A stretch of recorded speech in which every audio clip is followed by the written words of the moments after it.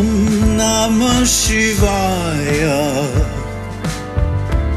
Om Namah Shivaya. Om Shakti Om. Om Shakti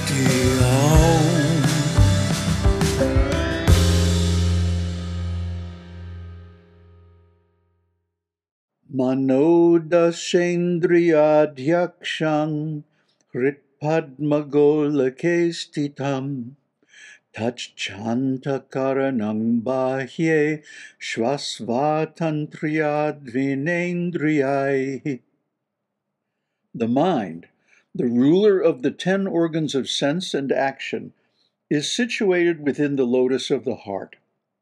As it depends on the organs of sense and action for its functions in relation to external objects, it is called an internal organ, antakarana. Though light is in the whole room, the lamp is said to be the main place for the light. So also the mind is in the whole body, but its special place is in the heart. The seat of the mind was believed to be the heart in ancient days as brain is thought so nowadays. Text 13. Akshesvartarpite svetad gunadoshavicharakam satvang rajastamaschasya guna vikriyate hitai. The mind inquires into the merits and defects of the objects which are perceived by the senses. Sattva, Rajas, and Tamas are its three constituents, for through them the mind undergoes various modifications. Gunas, the three modes of nature, are difficult to define. Vidyaranya defines them according to their effects the senses give the knowledge of objects, and the self is present everywhere, unconcerned. So the discriminating faculty or mind is acceptable as the agent. Text 14. Vairagyang kshantiraudyaryan ityadhya sattvasangbhava kamakrodhau lobhayat Navityadya Rajasotita. Non attachment, forgiveness, generosity, etc., are products of sattva. Desire, anger, avarice, effort, etc., are produced by rajas. Compare with Bhagavad Gita 13 7 through 11, 16 1 through 3. Text 15. Alasya Tandraya Vikarastang Masotita Satvikai Punyanispati Papautpatischa Rajasai Lethargy, confusion, drowsiness, etc., are produced by tamas. When sattva functions in the mind, merit is acquired. When rajas functions, demerit is produced. Text 16. Tamasayar no bhayam kintu vritayus vritayu kshapanang bhavet atraham pratyayi kartet yevang loke vyavastitihi. When tamas functions, neither merit nor demerit is produced, but life is wasted for nothing. Of the modifications of the mind, that of I consciousness is the agent.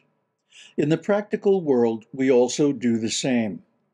When egoism or personality becomes attached to intellect, it is the practice of the world to connect all acts with agents.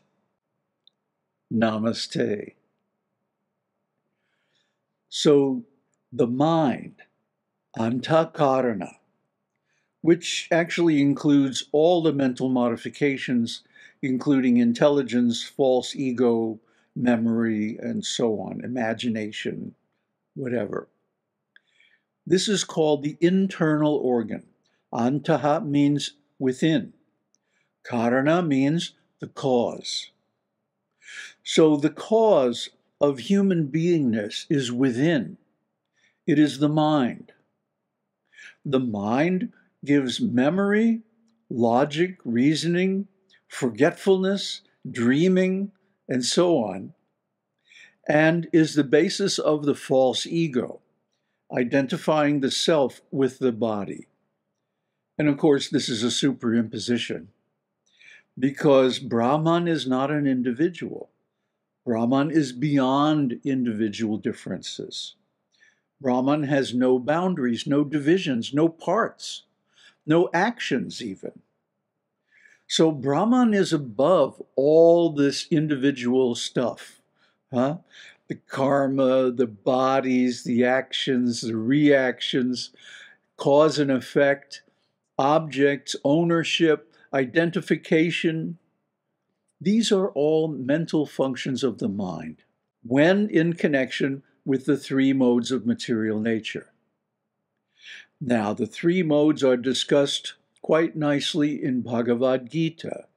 So, if you haven't looked it up already, you should go to these passages that are referenced in the purports and look at the qualities of the three modes, the gunas, trigunya, because they are best defined by their results. Sattva guna, the mode of goodness, produces good results and eventually brings enlightenment and liberation. The mode of passion, where one pursues objects of sense gratification, brings demerits, bad karma, suffering, and rebirth in the human form. The mode of ignorance is just a waste of time, a waste of effort, intoxication, sleep, madness, illusion, any kind of ignorance, drugs, and so on. All bring not only suffering, but rebirth in the animal kingdom. So we should orient our lives so that we are in sattva, we are in goodness. That means following the instructions in the scriptures. It is not that we can blithely declare ourselves to be Brahman and thus above all the modes of material nature. Huh? Oh, I'm God, so I can do whatever I want. No, no. This is a misunderstanding.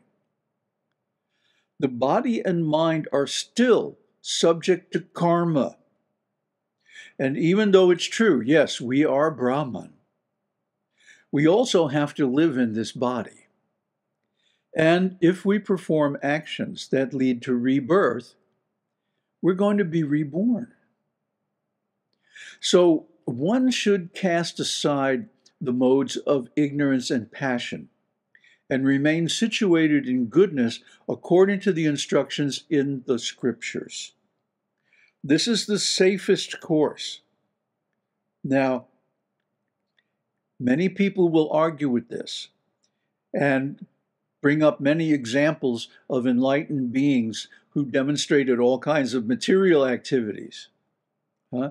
But these are due to prarabdha karma. What we're talking about here is when the mind desires and acts as an agent in the modes of material nature. In other words, we should desire only the mode of goodness.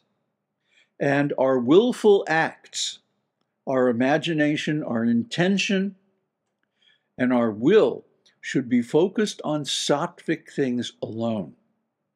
Yes, there may be some rajasic and tamasic activities, but those are the result of previous karma.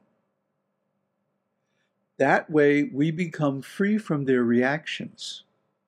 And even though it may happen in the body and mind, we're not identified with them. That's the point.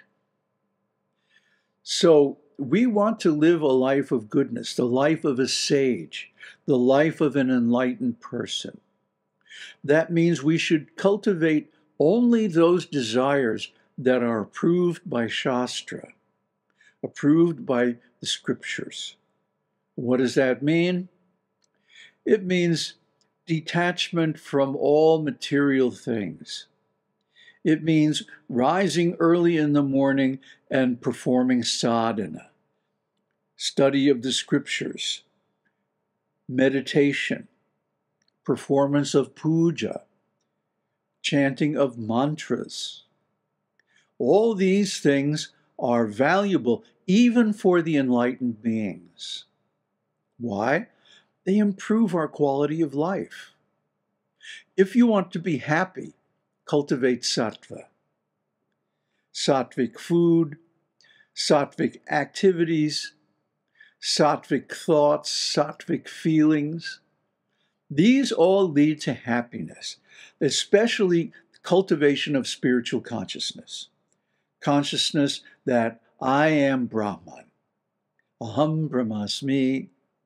Huh? Tat Tvam Asi. Thou art that. What is that? That is Brahman, the original cause, the ocean of consciousness, that which is beyond goodness, passion, and ignorance, beyond activity, beyond karma.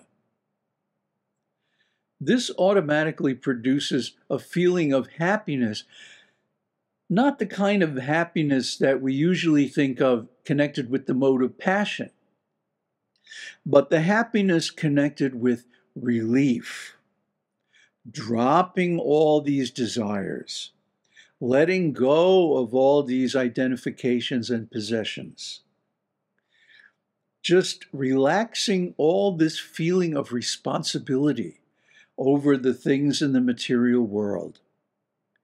And simply staying in meditation all the time, as far as possible.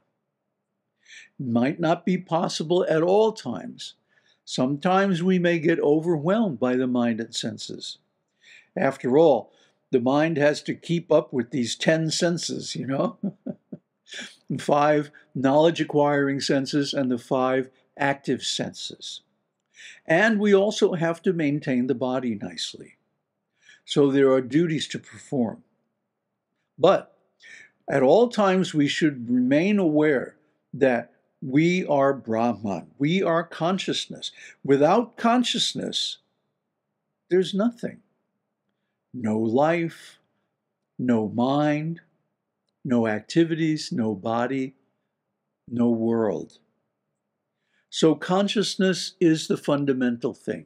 Consciousness is that which precedes everything else, which is senior to everything else, which is the substrate of everything else, and everything else is simply a projection on consciousness, an overlay, a superimposition, adhyasa.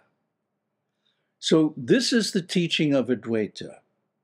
Not that one should simply declare oneself to be God and then do whatever you want, you know, because whatever you want usually involves the mode of passion and ignorance, isn't it? The senses want to act very freely, but in the mode of goodness, the senses are restrained. They're directed in a narrow path towards the mode of goodness alone, which leads to happiness in this life, detachment, freedom from desires, and ultimately liberation. Aum Tat Sat. Aum Shakti Aum. Aum Namah Shivaya.